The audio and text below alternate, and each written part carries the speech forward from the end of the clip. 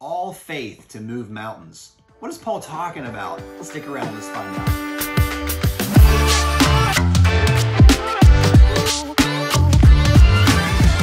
Well, happy Wednesday, friends. My name is Brandon. Welcome to your midweek boost. This past Sunday at our church, Church Unlimited, we talked about a topic called Remover of Mountains.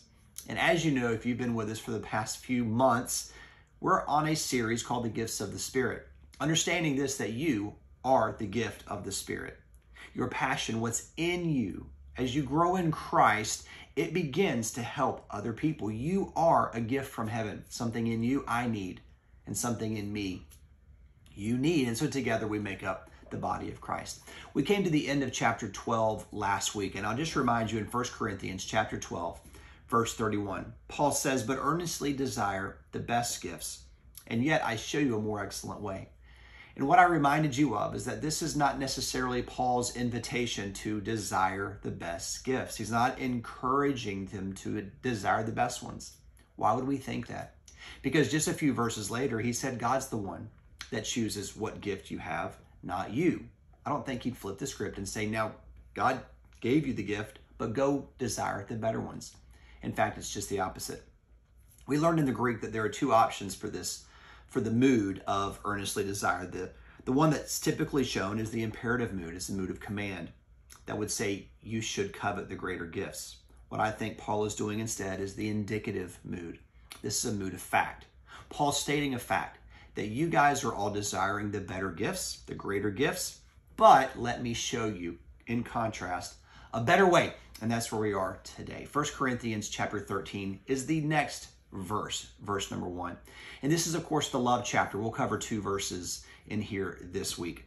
In verse number one, 1 Corinthians 13, though I speak with the tongues of men and of angels, but I don't have love, I am a sounding brass or a clanging cymbal. In other words, no matter how many gifts you may show, no matter how great you think it makes you look, if the motivation behind your behavior, behind your gifting, is not love, then it ultimately serves no purpose because it doesn't communicate anything clearly. If I gave you one note, hmm, and I asked you name that tune, you'd have no idea where I was going. But if I gave you a couple of more, hmm, hmm, hmm, hmm, you might guess happy birthday to you, and you'd be absolutely correct. And I would be an amazing hummer.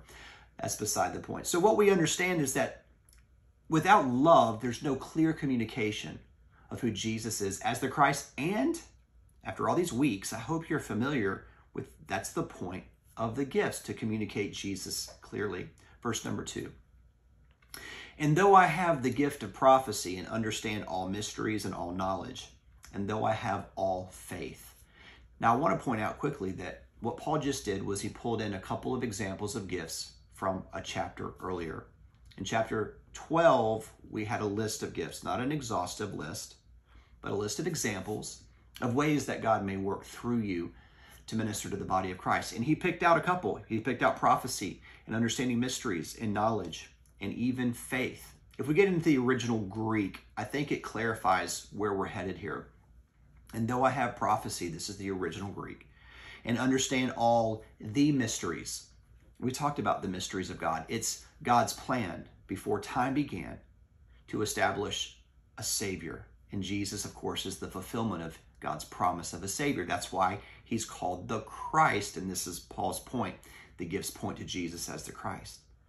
He says, And though I have all the knowledge, not just knowledge, all the knowledge, Jesus is the knowledge of God. He's the wisdom of God. He's the mystery of God. He's the power of God. He's the depths of God. It's always been about Jesus. And that's why we went to the early parts of First Corinthians. Because Paul's not just making up some idea to encourage churches to be more spiritual by operating in the gifts. You know, the gifts are intended to point the church back to who Jesus is as the fulfillment of God's promise. And then he adds, and though I have all the faith, not just all faith, not just faith that brings items to me, all the faith. If I'm able to comprehend the faith, the new covenant, the conversation of salvation by faith. In other words, Paul is actually being quite hyperbolic here. He's using hyperbole. We'll define that word for you in a moment. Ultimately, we know that hyperbole is an exaggeration. He's exaggerating. He's talking about a super Christian here that gets everything about God. in this new covenant. But if I don't have love, then I'm nothing. Now, we see these three references to chapter 12 just to prove it out to you. Verse number 8 of chapter 12, 9, and 10.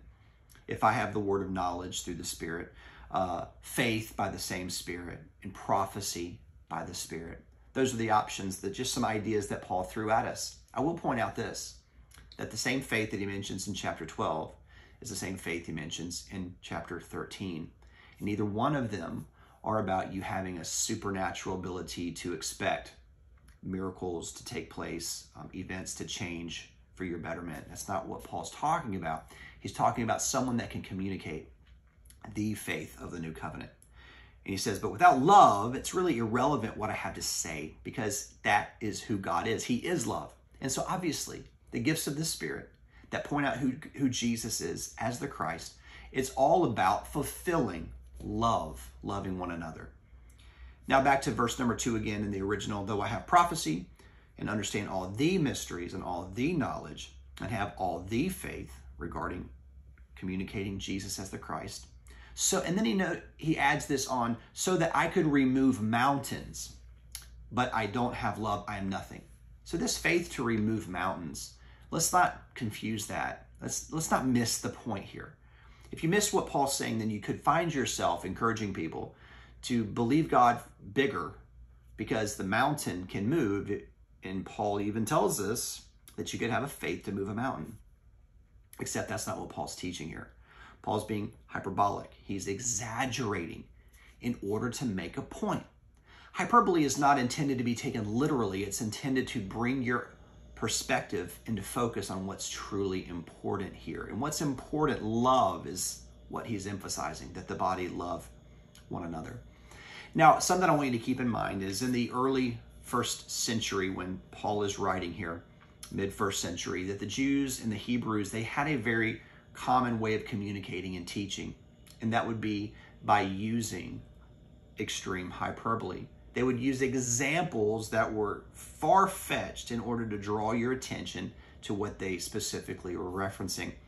So when we get to a point like this, uh, there was the first five books of your Old Testament called the Torah, and then there were also rabbis that taught about the first five books of the Bible and the the actual communication of these rabbis' conversations. It was called the Talmud.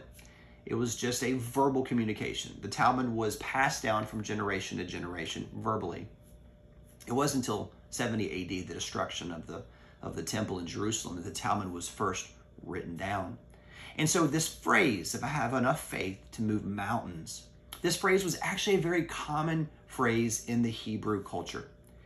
Here's what to be a remover of mountains was. Listen carefully. This is something for you to Google in your free time. The phrase remover of mountains, it was a metaphor that was commonly used in Jewish literature. So if you were a masterful teacher or spiritual leader, they would call you a remover of mountains. In essence, what Paul is saying here is if I have all knowledge and all the, the mysteries and all prophecy and all the faith, and I'm able to be the most incredible teacher so that you would call me a remover of mountains, but I don't have love, I'm nothing.